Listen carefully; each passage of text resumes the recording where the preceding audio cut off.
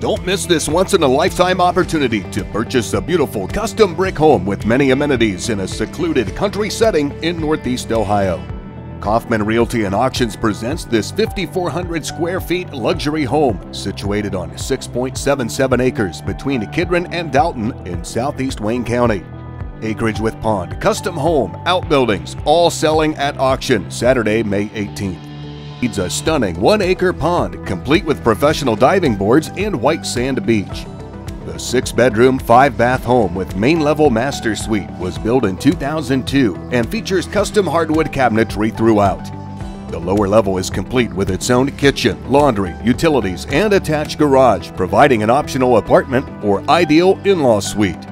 Utilities are private well and septic, forced air gas furnace, gas hot water heat, and a wood stove on both the lower and main floor. The property also boasts a shop building 2,100 square feet in size. The building includes two overhead doors plus greenhouse and outdoor raised beds, complete with irrigation system.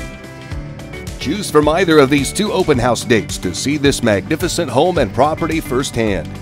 Thursday afternoon, May 2nd from 4 to 6 o'clock, or Monday evening, May 6th from 6 to 7.30. An ideal location in southeast Wayne County, over six and a half secluded acres with pond, custom built, six bedroom brick home plus shop building, and much more. All selling at auction Saturday, May 18th at noon.